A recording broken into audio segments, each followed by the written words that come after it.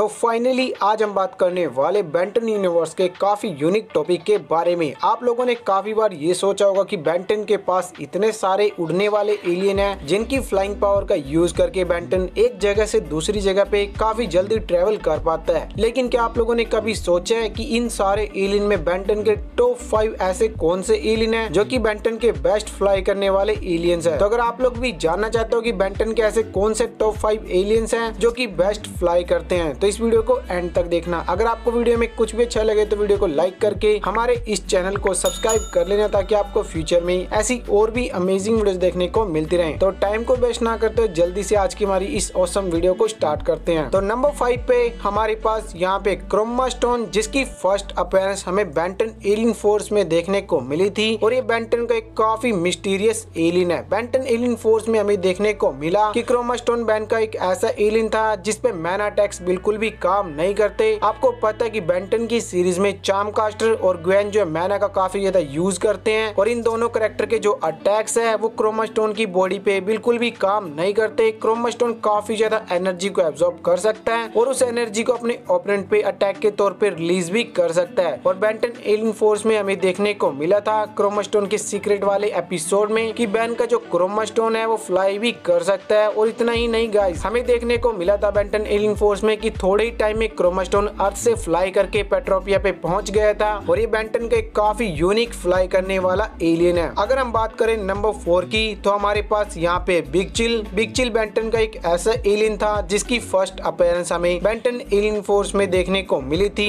अगर इसकी power abilities की बात कर ली जाए तो बिग चिल की जो बॉडी है बिग चिल उसे इंटेंजिबल कर सकता है, बिल्कुल गोस्ट फ्रिक के जैसे। लेकिन अगर इसकी इंटेंजिबल बॉडी को कोई छूने की कोशिश करता है, उस टाइम पे गाइज़ इसको छूने वाला पूरी तरह से आइस में जम जाता है। इतना ही नहीं गाइज़ हमें बिग चिल के पास आइस अटैक करने की पावर देखने को मिली थी। ये अपने माउथ और हाथों से जो है आइस अटैक कर सकता है। हालाँकि काफ़ी सारे बेंटन के ऐसे फैंस है जिनको ये नहीं पता कि बिग चिल जो अपने हाथों का यूज़ करके भी आइस अटैक कर सकता है। और ये बेंटन का काफ़ी यूनिक फ्लाई करने वाला एलियन है क्योंकि गाइज़ बिग चिल सिर्फ़ अर्थ पे ही नहीं, बल्कि स्पेस में भी फ्लाई कर सकता है काफ़ी ज़्यादा स्पीड से। और स्पेस में इसको कोई फ़र्क नहीं पड़ता, इसको ऑक्सीजन की बिल्कुल भी ज़रूरत नहीं पड़ती। नंबर थ्री पे हमारे पास यहाँ पे एन ये हमें first time Ben Ten ultimate aliens में देखने को मिला था। जब एग्रेगर ने पाँच एलियंस की पावर को एब्जॉर्ब करने के लिए पाँच एलियंस को पकड़ा था एनआरजी का डीएनए भी बैन को उन पाँच एलियंस में ही मिला था। एनआरजी की पावर एबिलिटीज की बात करें तो एनआरजी के पास अपने काफ़ी स्ट्रॉन्ग आर्मर है, जिसको डिस्ट्रॉय करना लगभग नामुमकिन है, लेकिन अगर उसे कोई डिस्ट्रॉय कर देता है तो एनआरजी जब आर्मर से बाहर आता है, उस टाइम पे उसका पावर लेवल और भी ज़्यादा बढ़ जाता है, ये काफ़ी ज़्यादा एनर्जी को एब्जॉर्ब कर सकता है। उस एनर्जी को अटैक के तौर पर रिलीज़ भी कर सकता है और न्यूक्लियर अटैक भी कर सकता है। और एनर्जी काफ़ी तेज़ी से फ्लाई कर सकता है और स्पेस में भी फ्लाई कर सकता है और इसको ऑक्सीजन की बिल्कुल भी ज़रूरत नहीं पड़ती। अब बात करें नंबर टू की तो हमारे पास यहाँ पे जेट्रे जेट्रे बेंटन का एक ऐसा एलियन है जो पहली बार हमें बेंटन एलियन फोर्स में देखने को मिला था। अगर इसकी पावर एबिलिटी की बात करें तो जेट्रे अपनी आई और टेल से लेजर फायर कर सकता है और इसकी फ्लैंक स्पीड काफ़ी ज़्यादा है। ये अर्थ पे सर्वाइव कर सकता है। साथ में गाइस अगर बैन को कभी भी स्पेस ट्रेवल करना है, उस टाइम पे जेट्रे का यूज़ करके बेंटन स्पेस ट्रेवल भी कर सकता है। और ये चीज़ हमें बेंटन एलियन फोर्स में देखने को मिली थी, जहाँ पे गाइस बेंटन ने बेंटन जेट्रे का यूज़ करके